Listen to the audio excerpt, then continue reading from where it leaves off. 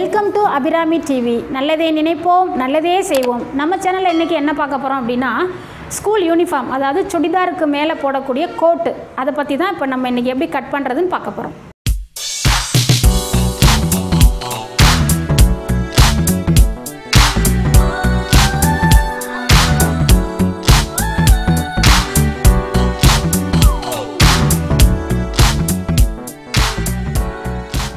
இப்போ நம்ம இந்த கோட்டுக்கு ஃப்ரண்ட் சைடு தனியாக பேக் சைடு தனியாக தான் கட் பண்ண போகிறோம் அதனால் நான் வந்து டபுளாக தான் மடிச்சிருக்கேன். இங்கே பாருங்கள் டபுளாக மடிச்சிருக்கேன். அதே மாதிரி இந்த ஓப்பன் சைடு என் என் பக்கம் இருக்கிறது மாதிரி நான் மடிச்சிருக்கேன். இப்போ ஃபஸ்ட்டு நம்ம ஃப்ரண்ட்டு தான் கட் பண்ண போகிறோம் ஸ்கூல் யூனிஃபார்ம் கோட்டுக்கு வந்து நம்ம முதல்ல இங்கேருந்து ஒரு ரெண்டு இன்ச்சு விட்டுக்கோங்க. விட்டுட்டு அதுக்கு நேராக ஒரு கோடு போட்டுக்கோங்க.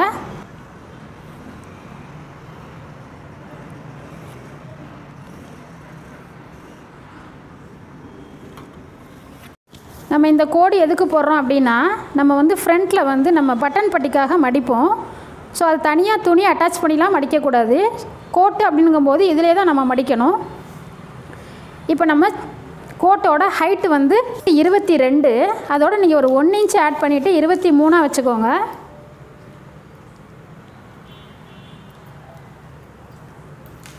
இப்போ இது வரைக்கும் நீங்கள் அந்த பட்டன் பட்டிக்கு உண்டான கோடை போட்டுக்கோங்க.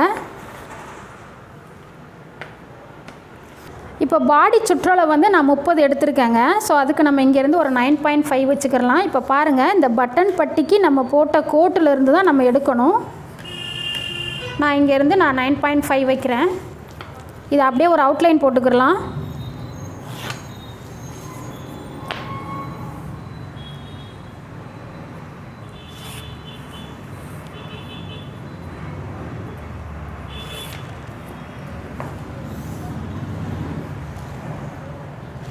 இப்போ இங்கேருந்து ஷோல்டர் அளவு எடுக்கலாம். செவன் பாயிண்ட் ஃபைவ் வச்சுக்கோங்க ஷோல்டர்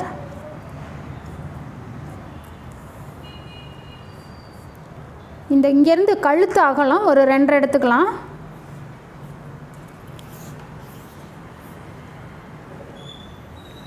ஆம் ஹோல் அளவு அப்படின்னு பார்த்தீங்கன்னா ஒரு சிக்ஸ் அண்ட் ஆஃப் வச்சுக்கோங்க. தேர்ட்டி சைஸுக்கு சிக்ஸ் அண்ட் ஆஃப் போதும்.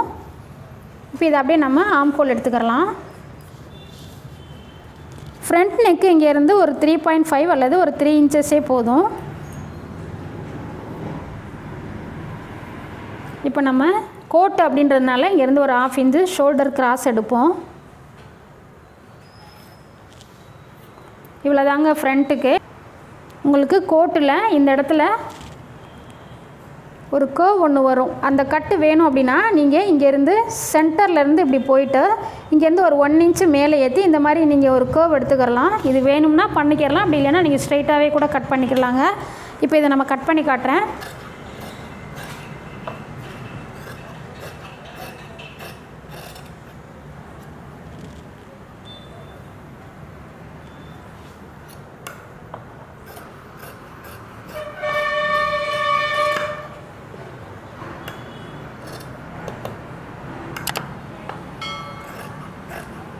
நான் தையலுக்கெல்லாம் சேர்த்து தாங்க நான் மார்க் பண்ணியிருக்கேன். தையலுக்கு நீங்கள் தனியாக விட்டு கட் பண்ண வேண்டாம்.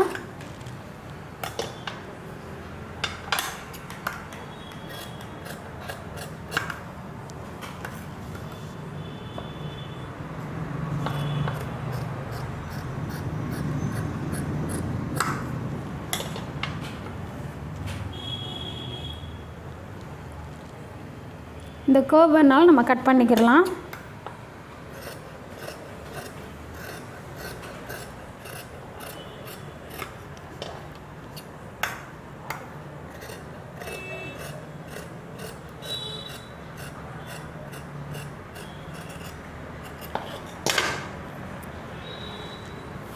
இப்போ நம்ம ஃப்ரண்ட்டு கட் பண்ணிட்டோம்.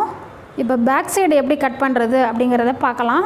இப்போ நம்ம பேக் சைடுக்கு ஃபோல்டிங் வந்து இப்போ பாருங்கள் இந்த பக்கம் ஃபோல்டிங் இருக்கணும். ஃப்ரண்ட்டு வந்து நம்ம ஓப்பன் சைடு வச்சு வரைஞ்சோம். பேக் சைடு ஃபோல்டிங்கோடு வச்சு வரையணும். இப்போ நம்ம கட் பண்ணியிருக்கிற ஃப்ரண்ட் சைடு எடுத்து இந்த மாதிரி துணியில் போட்டுக்கோங்க. இந்த பட்டன் பட்டி வந்து வெளியில் வரணும்.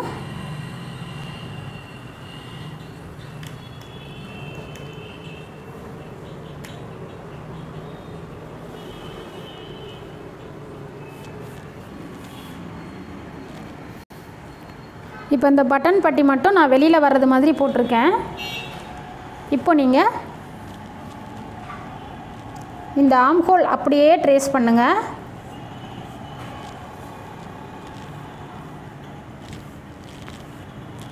இந்த பாடி சுற்றளவையும் அப்படியே நீங்கள் ட்ரேஸ் பண்ணி வச்சுக்கோங்க. இங்கேயும் நீங்கள் இந்த கேர்வெல்லாம் அப்படியே இதில் இருக்கிற மாதிரியே ட்ரேஸ் பண்ணிக்கோங்க.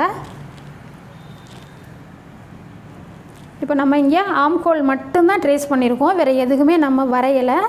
இதை அப்படியே எடுத்துகிட்டு நீங்கள் இதிலேருந்து ஸ்ட்ரைட்டாக ஒரு கோடு போட்டுக்கோங்க. ஏன்னா நம்மளுக்கு பேக் சைடு நெக்கெல்லாம் வெட்டக்கூடாது. நம்ம இது வந்து தச்சு முடித்ததுக்கப்புறம் சுற்றி காலர் வைக்க போகிறோம் ஸோ அதனால் வந்து நீங்கள் பேக் சைடு நெக் எதுவுமே கட் பண்ணக்கூடாது. ஆம்கோல் அப்படியே ட்ரேஸ் பண்ணிவிட்டு அதுலேருந்து நீங்கள் ஸ்ட்ரைட்டாக கோடு போட்டு இதை அப்படியே கட் பண்ணிக்கோங்க.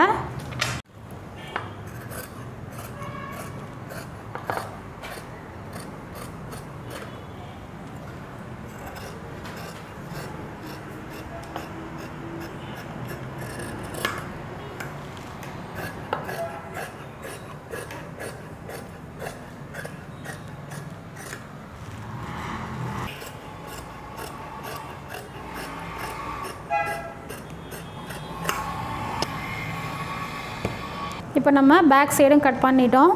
இப்போ நம்ம ஃப்ரண்ட்டு ஆம்கோலில் கொஞ்சம் கொஞ்சம் ஆம்கோல் வந்து ஒரு அரை இன்ச்சு லைட்டாக நம்ம ஃப்ரண்ட்டில் கொஞ்சம் தள்ளி கட் பண்ணிக்கிறலாம்